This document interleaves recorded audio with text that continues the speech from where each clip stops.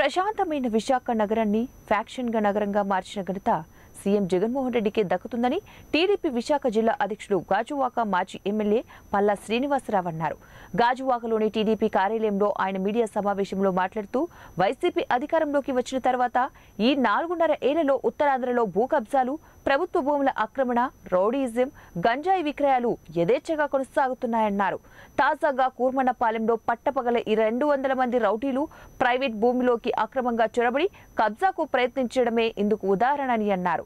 ఈ భూ కబ్జా వెనుక వైసీపీ నేతల హస్తం ప్రత్యక్షంగా ఉందని పల్లా ఆరోపించారు.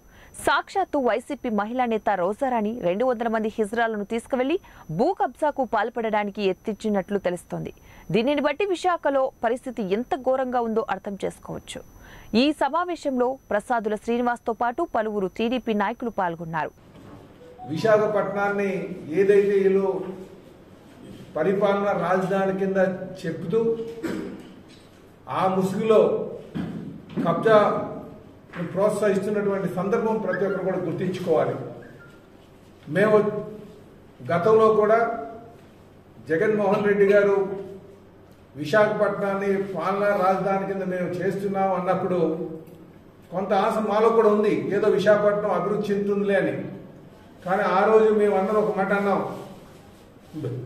మీరు పాలనా రాజధాని పేరున ప్రజలందరూ కూడా ఆశలు పుట్టించి ఆ ముసుగులో మీరు కబ్జాలు చేస్తే మాత్రం చాలా తీవ్రమైన పరిణామాలు ఉంటాయి.